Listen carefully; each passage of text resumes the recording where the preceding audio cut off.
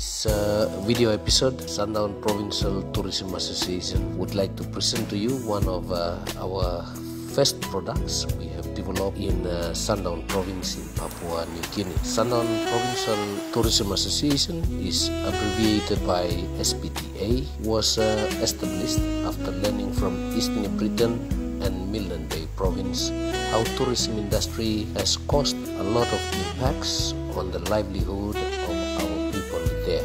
In this video episode, I decided also to show you one of the tourist products we identified and developed since May 2019 and that is Awawi Waterfall.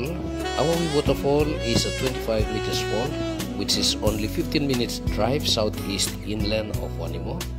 Go there, the road is sealed all the way till you reach the drive in on the right side of the road as you drive up where we have designed a billboard to show where the waterfall is. Now in Awawi waterfall on the side you can see a kitchen.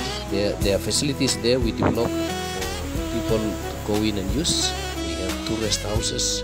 We have two toilets for male and female, two changing rooms for male and female. We also allocated the land for children's park and it's being developed with skyline uh, towards the fall where you can get pictures of the waterfall. You can bring your family there too if you want to.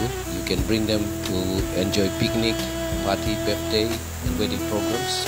Organizations are also invited, business houses, companies, government organizations, offices. If you wish to hold meetings there, you can you can also do